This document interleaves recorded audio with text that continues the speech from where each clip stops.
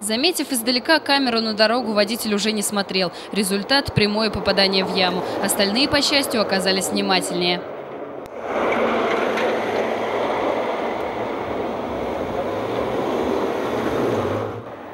Вот такие срезанные части асфальта порой доставляют водителям проблем едва ли не больше, чем сами ямы. Очень ужасно ездится, потому что вот здесь вот как раз, я так поняла, вчера или как несколько дней назад пробка была, первый рабочий день, и до самого Нартова случилась пробка. Я так подозреваю, что именно из-за этого съездить просто ужасно. То есть э, я не знаю, когда это закроют. Они, наверное, весь город сначала ямки сделают по всему городу, а потом весь город будут закрывать. И все это время все в пробках. Заторы – это лишь одно из последствий застоявшегося ямочного ремонта. В списке неприятностей проколотые шины, погнутые диски, а ремонт автомобиля в таком случае оплачивать придется самостоятельно. Вот водителям и приходится искать новые маршруты.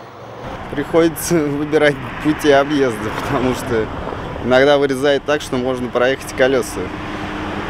Порвать резину или погнуть диск. Ну, я стараюсь объезжать, потому что часто езжу по одним тем же дорогам. Где вижу, где идет ремонт, я объезжаю. На оперативном совещании глава администрации города Олег Кондрашов резко высказывается в отношении дорожных служб. Ямочный ремонт в Нижнем Новгороде идет с нарушением сроков. На латание ям у дорожников уходят недели, а положено не более двух дней.